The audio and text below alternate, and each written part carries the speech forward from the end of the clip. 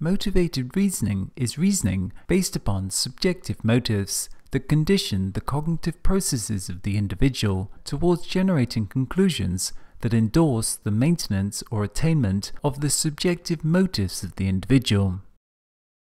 As such, motivated reasoning is characterized by rationalization, a phenomena where the outcome to the process of reasoning is predetermined and reasoning is used as a means to give conceptual validation to the predetermined outcome, which is the inverse of the proper process of reasoning. Neuroscience research concludes that motivated reasoning is qualitatively distinct from objective reasoning, that is, instances when there is no strong emotional stake in the outcome. Motivated reasoning is closely associated with emotional reasoning, which is a cognitive process by which a person concludes that their emotional reaction proves something is valid, regardless of the observed evidence or other people's reasoning. Processes of motivated reasoning are a type of inferred justification strategy which is typically used to mitigate cognitive dissonance. When people form and cling to false beliefs despite overwhelming evidence, the phenomena is labeled motivated reasoning. In other words, rather than searching rationally for information that either confirms or disconfirms a particular belief, people actually seek out information that confirms what they already believe. This is a form of implicit emotional regulation in which the brain moves quickly to converge on judgments that minimize cognitive dissonance. The outcomes of motivated reasoning derive from a biased set of cognitive processes, that is, strategies for accessing, constructing, and evaluating beliefs. The motivation to be accurate enhances the use of those reasoning processes that are considered most appropriate, whereas the motivation to arrive at particular conclusions enhances use of those that are considered most likely to yield the desired conclusion. An example of motivated reasoning may be seen in the psychological mechanisms people commonly use to preserve a favorable identity of themselves. In order to maintain positive regard for themselves, people unconsciously discount unflattering information that contradicts their self image or is otherwise troubling to them. The same can be seen in whole populations of people, where a nation may selectively construct its history, omitting unfavorable elements that are otherwise widely considered historical facts. The common feature of all motivated reasoning is that the outcome is predetermined, and thus the process of reasoning is essentially just a process of searching for evidence and reasons to support the predetermined outcome, which is called rationalization. This can be seen as an inversion of the normal conception of objective reasoning where all relevant evidence is gathered, synthesized, and thought through to create conclusions. With motivated reasoning, however, the outcome is predetermined and the process simply used to present a rational argument to others and oneself. Social science research suggests that reasoning away contradictions is psychologically easier than revising our feelings.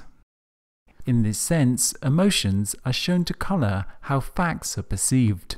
Feelings come first to define preconceptions, and evidence is used mostly in service of those preconceptions. Evidence that supports what is already believed is accepted, that which contradicts it is excluded in various ways.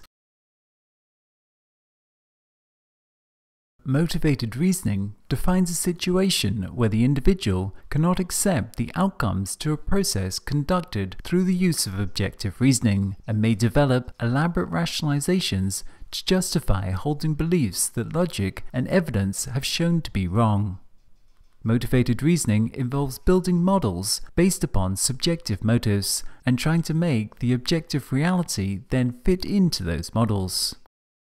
Evidence disproving the preconception is systematically denigrated through a number of psychological mechanisms, such as biased information searching, biased information assimilation, or disconfirmation bias. Biased information searching is a phenomenon where the individual actively searches for evidence that supports the preferred belief or discredits any information not consistent with the desired outcome. Biased information assimilation is exposing oneself to sources that will systematically support one's preconceptions.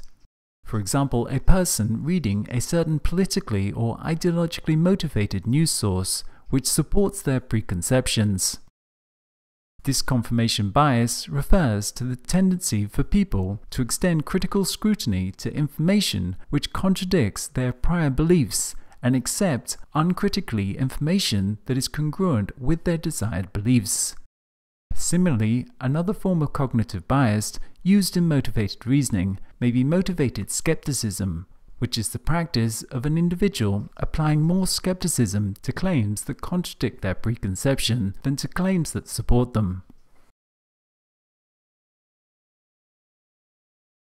The view of motivation as a means to reducing cognitive dissonance within the individual has long since been held by social scientists.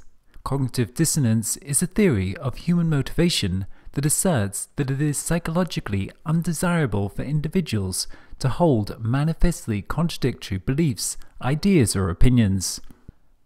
The theory holds that this dissonance causes stress that is unpleasant to the individual, which then motivates a person to change their cognition, attitude, or behavior so that they conform to each other and thus reduce the dissonance. The theory was first explored in detail by the social psychologist Leon Festinger. Festinger's theory of cognitive dissonance focuses on how humans strive for internal consistency. An individual who experiences inconsistency, what we call dissonance, tends to become psychologically uncomfortable and is motivated to try and reduce this dissonance, as well as actively avoid situations and information likely to increase it two opinions or beliefs or items of knowledge are dissonant with each other if they do not fit together, that is, if they are inconsistent, or if one does not follow from the other. For example, a cigarette smoker who believes that smoking is bad for her health has an opinion that is dissonant with the knowledge that she is continuing to smoke. In this situation, the person is both addicted to the substance and does not want to give it up, Likewise, they do not want to experience the dissonance between the evidence about smoking related to health issues and their actions. The outcome to this is that the person may use various cognitive biases talked about before to avoid the evidence or at least downplay it. In such a circumstance, the person is using motivated reasoning to reduce cognitive dissonance and continue to experience the desired physiological state induced by smoking and avoid the undesirable physiological state of having to quit smoking.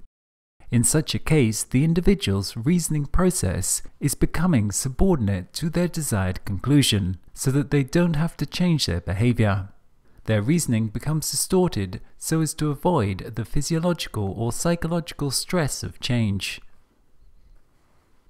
A 2004 article in the journal Cognitive Neuroscience entitled Neural Basis of Motivated Reasoning highlighted some of the underlying neurological workings to motivated reasoning the study presented findings from functional neuroimaging of the neural responses of 30 committed partisans during the US presidential election of 2004.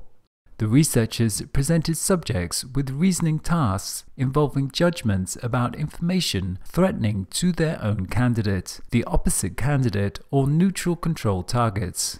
Motivated reasoning was associated with activities of the ventromedial prefrontal cortex, anterior cingulate cortex, posterior cingulate cortex, insular cortex, and lateral orbital cortex.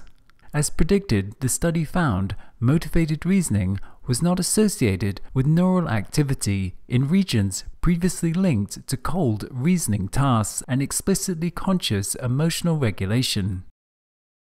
The findings provided the first neuroimaging evidence for phenomena variously described as motivated reasoning, implicit emotional regulation, and psychological defense. The researchers suggested that motivated reasoning is qualitatively distinct from reasoning when people do not have a strong emotional state in the conclusions reached.